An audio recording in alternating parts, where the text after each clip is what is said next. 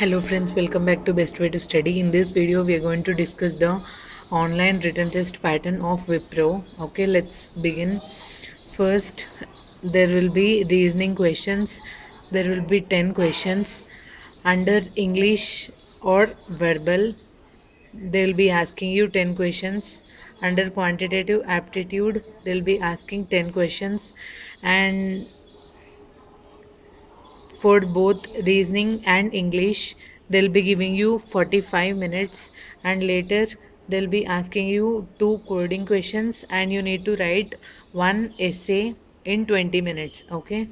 In essay writing they'll be giving you few phrases and using all those phrases you have to complete writing the essay okay within 20 minutes.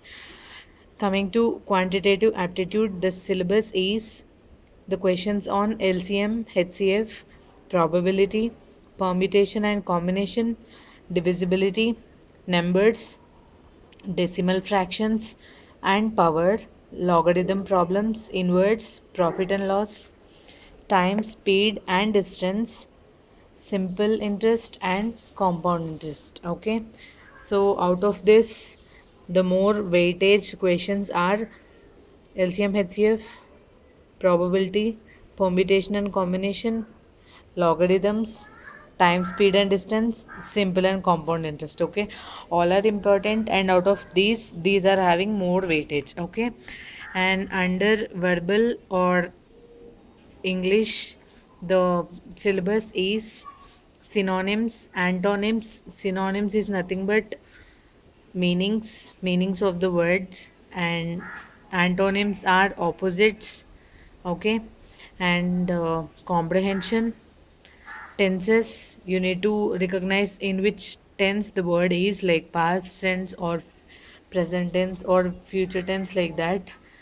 And articles like they'll be asking you to recognize an article or substitute the fill in the blank with the article and uh, subject verb agreement vocabulary the questions on literal comprehension prepositions and conjunctions and they'll be uh, under sentence improvement they'll be giving you a sentence and you need to correct those sentence and you need to improve the sentence using the correct article or something like that okay?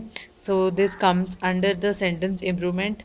So this is the syllabus for Wipro under quantitative aptitude and English okay? Concentrate more on quantitative aptitude because this will be little tough and uh, English is easy as usual and concentrate more on synonyms, antonyms, articles, and sentence improvement. All are important, but these are more important. Okay and make sure you manage the time well so that you, you, you need to complete all the questions within 45 minutes and this is the test pattern uh, of Wipro and the tips are practice more and more mock test papers because the previous papers every year will repeat 60% of questions okay so make sure you prepare and um, practice more and more mock tests so this is the paper pattern for uh, reasoning and in uh,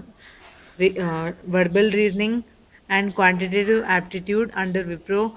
In coming up videos, I'll be covering the syllabus of reasoning, coding and essay writing. So thank you so much for watching this video. Don't forget to subscribe to my channel and share this video with all your friends.